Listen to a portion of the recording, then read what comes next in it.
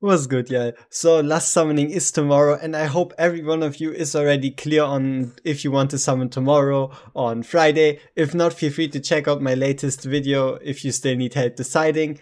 And on that note, let's talk about the topic here, which is going to be how effective are Lust's Awakenings actually, and can you just stop after getting her after, uh, on 250? As well as also, just as a little uh, extra, I guess, we're going to have a look at the difference between a0 and A5 Arrogance also then obviously in comparison with Lust.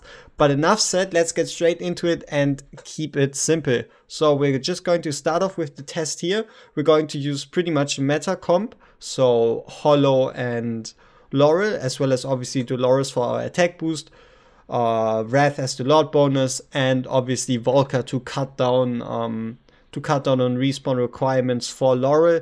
Furthermore, as you see in the fight, and also you should know about Lust, is that uh, she actually has a talent, and that talent states for every two ultimates activated by faction allies of the Nightmare Council, including the hero, the hero will then trigger Sinful Lash, which is a pretty powerful attack dealing 400% damage to a random enemy, which obviously helps with the attack. So we're going to have Wrath and Arrogance on the field not just because of her talent, but mainly because we want to fill out the four Nightmare faction speed buff as well as not having a good platform unit that is actually from the Nightmare Council besides Hudson.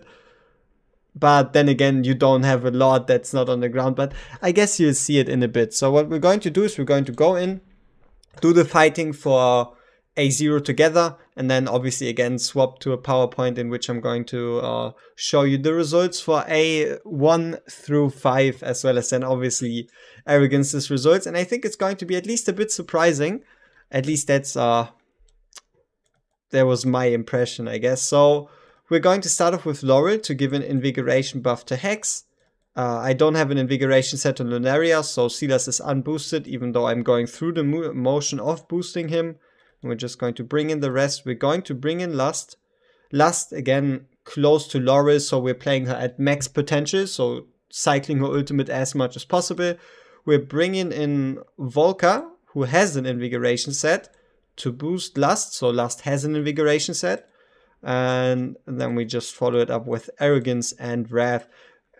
And the important part here is Arrogance and Wrath are going to go through their ultimates, and every two ultimates, Lust is going to trigger her Sinful Lash, which also is going to be quite important when we're going to talk about her A1, but that's, uh, I guess, for the future. So here, just I'll just talk a bit about why I'm triggering certain stuff where. We're just going to trigger Hex's ultimate early because Hex's ultimate is pretty, pretty long. And then at this point, we can already start. Uh, I could have activated Hollow's ultimate earlier, I did wait here a bit, but honestly, it's not too bad. And then by around 97% of the Dolores, we can already start with activating Lust and activate Silas because they do take at least a bit of time to activate, as well as giving them the chance to get the 20% damage buff from Laurel and also activate the ultimate so we can overcharge the rage through Laurel, which is what we uh, what we're doing right here, and then taking out Laurel, letting the fight go, and obviously starting to hit the boss. So because we did you remove Laurel after all ultimates were activated, we're going to start with around 80% rage on everyone, activate Laurel again, and then just start the second row of ultimates. And here you could bring in Volker, but I don't usually bring in Volker here, because unless you specifically build for it, your Volker's not going to be able to use her ultimate within 20 seconds, which would mean you place her down and need to remove her because you do want to bring Laurel in as soon as possible to then take her out again, which is why we're now going to bring in Volker. Again, wait until we're at around 97% to then start with both ultimates. And then also keep an eye on Hex. Now, the interesting part about Volker is you only need to trigger her ultimate, and as soon as she's triggered, she's going to apply this uh, vulnerability you can see on the top here. And this buff doesn't actually disappear if you despawn Volker. So as long as you trigger it, you can then despawn Volker, which is going to cut down on a respawn timer. And if you cut down on a respawn timer, you can put her on the field more often. And if you have her on the field more often, you're going to get a bit more value out of her when it comes to the invulnerability buff. So right here, we're going to trigger Dolores. And actually, wait, So my general rule is if you're anywhere closer than really 40% to triggering ultimates, I always wait with my Laurel, trigger the ultimates first, because you can only overcap if the ultimates are already triggered, which is the case right now. So I waited with putting in Laurel to then overcap the ultimates again, instead of going in and only getting 20% out of a possible 50% when it comes to the rage regen. So right over here, we should again have enough time to bring in Volker and then take her out again before we actually need to place Laurel. Here we can just trigger the ultimates again. So the the interesting part or, or the important part about the Guild strategy right here is the fact that you do need so if your gear isn't good enough you can't quite trigger it exactly with this timing because your units are going to end up failing at the shield so depending on how good your gear is, you might need to already slow down your timings at the second shield or potentially at the third shield so you can ensure that you actually break the shield instead of the dragon breaking you, I guess. so yeah, you gotta you gotta really tone down the timings a bit depending on your gear. But besides that, that's and pretty much no matter really how bad your gear is, you can always just use it on Nightmare 3 and then get a better score on Nightmare 3 in comparison to Nightmare 4 if the shields are really the problem. Because you can see it's not it's not that safe that we're clearing the shields even though we are using everyone at A1 but we're using really really good gear. And on the note of gear, I'll obviously show you the gear that we've had that we have used on Lust in just a bit before I do actually forget about it. So again, right here we are at around 70% ultimates, so you could activate Laurel or you couldn't, but it's pretty much closer to 80%. So I'm just going to keep Laurel on the field, wait to activate the ultimates, and then in hopes of actually being able to trigger the ultimates twice instead of just a single time. Which isn't uh, I'm actually going to wait for Dolores. So the part with Dolores is she's going to go for 20 seconds. And most of the time, if you do have a rage regen unit on the field, if you take out Laurel while your Dolores is active, you should be able to trigger her instantly after. So what that allows us to do is have 40 seconds uptime of Dolores instead of just 20 seconds. And that's what we're going to go with. So here we go. Perfect cast as well as sprinkling in that Volker uh, which we could already take out, but honestly, there's no real point to doing so. But apparently, gear wise, someone isn't geared. I'm guessing. I don't know who could be ungeared.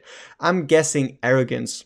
I'm guessing arrogance wasn't geared for this one, or at least it was the wrong one in. Let's have a look at the damage. Luckily, it was arrogance, so arrogance number isn't important. The important part is Lust number right here, which is 104 million, which obviously fluctuates quite a bit, which is what you're going to see in just a second. But let's first go over her gear. So we were able to break 100 million, but at least in this meta comp, you can't expect like super high Zillow numbers from her you're going to see something close to 100 million, which obviously isn't bad.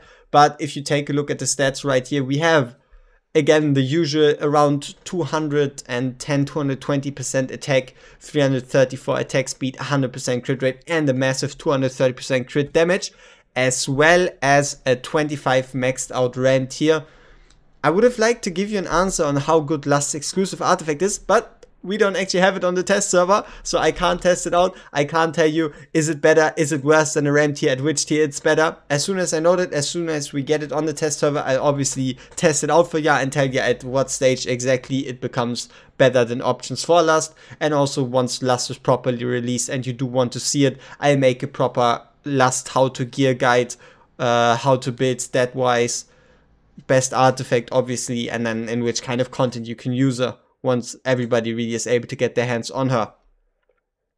So yeah, that's been it in regards to the test right here. Now let's have a look at the A1 real quick, which is very important. Sinful Lash. Sinful Lash is the ability she activates if other Nightmare faction units, obviously including her, but also besides her trigger their ultimates. So the more Nightmare units you have on the field, the more often you're going to trigger Sinful Lash. But the important part about this A1 right here is it is only 5 seconds. And you're not going to trigger two Nightmare Faction ultimates that often, so the uptime of the defense reduction isn't going to be that high, which is why this whole A1 seems greater than it actually is. But enough of that, let's get into the actual data in regards to the Awakening. Here we are and here we go. How good are Lust Awakenings actually? The answer is quite surprising, I guess. So Lust at base did 106 million. Like I said, it's like a bit variance. We had like 104.6, but it's pretty much similar.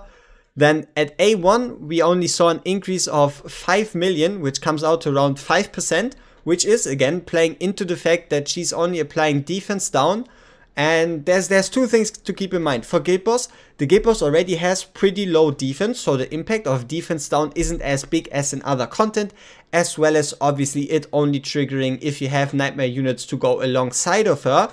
But furthermore, it isn't just a boost for her damage, you can expect this about this damage increase on every one of your units, which makes this damage increase higher, or this one as kind of a misinterpretation in comparison to how much she actually boosts. So you can expect between like a 1 and 5 million boost for all your other units alongside of her because they are also going to benefit from the occasional 20% defense down. Now the A3, what does the A3 even do?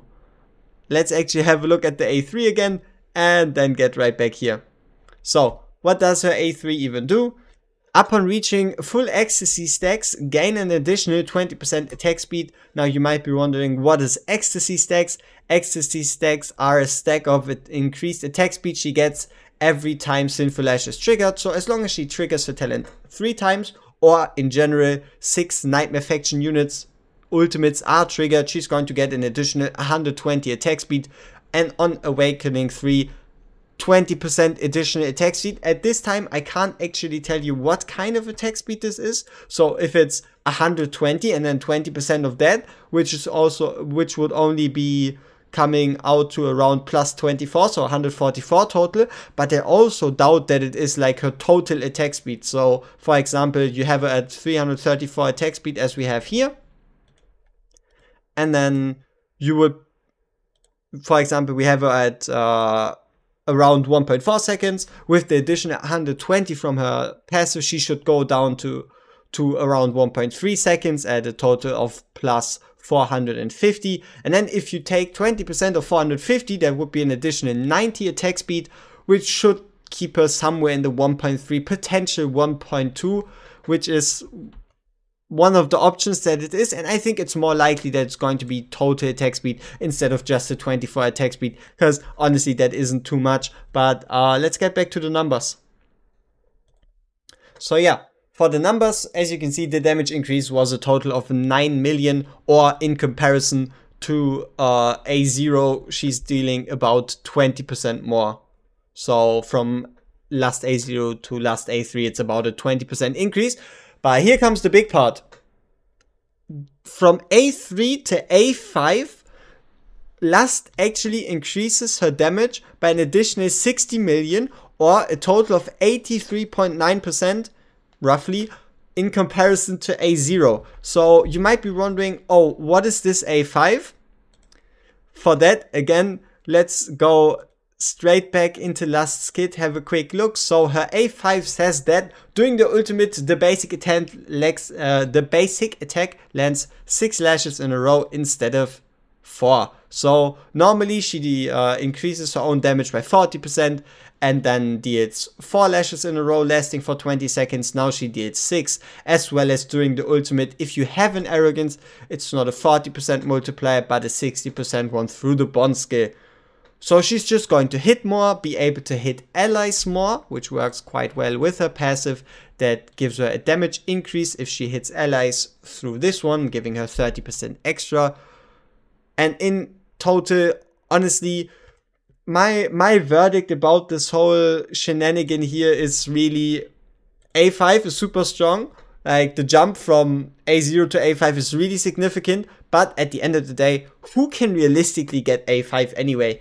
Because honestly, I don't even think it matters. So realistically speaking, if you can get the A1, it's going to be nice. It's going to be good for your team, but you shouldn't feel forced to go for the A1 because the benefit isn't too big, as well as the A3 also isn't overwhelming for the fact that you need it four times. And then an additional two times gives you that massive boost, but at an 18% chance to summon her, let's say you do take five times every time, then to get her, actually six times, you need to summon her 30 times. 30 times, which is obviously absolutely ridiculous. Which makes this A5 either a Soulstone project or absolute whale mania. But honestly, if you're at the point of having A3 Lust, uh, A5 Lust, you're going to be dealing 70k at Guild Wars anyway. So honestly, don't worry about the A5. It's some whale-ish territory. A1 is nice. A3 is whatever. And A5 is ridiculous. Now onto the note of another ridiculous A5. Let's go onto candidate number two.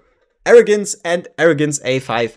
So, a base Arrogance deals around 118 million in the same team comp and the same gear we've used before, obviously also with the RAM tier. So he does about 10%, 10, 15% more damage than a Lust would do. So if you happen to have A0 Lust, A0 Arrogance, both max skilled, run your Arrogance next to your Rage regen comp instead of Lust, you're going to get more damage out of it. And furthermore, if you do get him to A5, you can expect around 166 million damage on a Wrath. So the important part also for Lust is it was ran or the team comp was with a Rev, you're probably going to see even crazier numbers with the Torador, because Lust is going to hit 6 times, or those 6 times have the chance to trigger Torador's talent to give her an extra hit, which is quite ridiculous. So with Torador, she's probably going to pull even greater numbers, but I mean, honestly, A5 Torador, uh, just Torador and A5 Lust is ridiculous. But back to the task at hand, which is going to be, you're going to see around a 33% increase when it comes to damage if you do happen to have an Arrogance A5. So you can see kind of that the jump between Lust A0 and Lust A5 is bigger than between Arrogance and Arrogance A5. And honestly, I think this already concludes this one. I wish you all best of luck. And if you want to, feel free to tune in for tomorrow's summoning session. And on that note, if anyone still wants me to summon for you or even hop into a call with me and stream your summons, link in the Discord top channel and you can already still send a message there if you're interested in letting me summon for you. And besides that, I, I, hope you appreciate this one. As always, leave a like, leave a sub, leave a comment, do whatever. Let's not get passed by Destin War and subscribers, and we see each other in the next one.